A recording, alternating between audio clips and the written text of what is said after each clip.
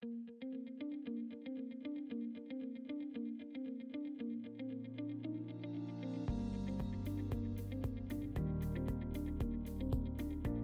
name is uh, Juan Castillo.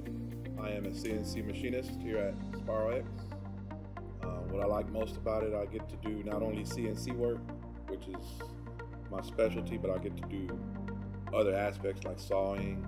Uh, then I got into painting, industrial painting. A thing that I've been able to do, um, run some lathes that I'm not familiar with, and uh, which is in CNC department side. Um, I'm usually a vertical, horizontal, five axis milling kind of guy. Um, I've also gotten into the industrial painting. I have a little background of automotive paint, which kind of helped that field out, and also sawing. If you're willing to come out to Spiral X and find a job and be employed here, I feel like you would make a great fit if you're willing to do some work. And the work is obviously here. We have enough of it to go around.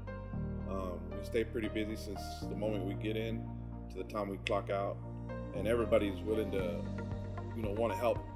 Whether it's your your your area or another area next to you, everybody kind of helps out each other. So it's pretty good. Five years, I see myself as being like a cell leader, uh, something with a little bit more managing position. Um, I've done cell leading before, and uh, I'm really confident in what I do that I can get that job.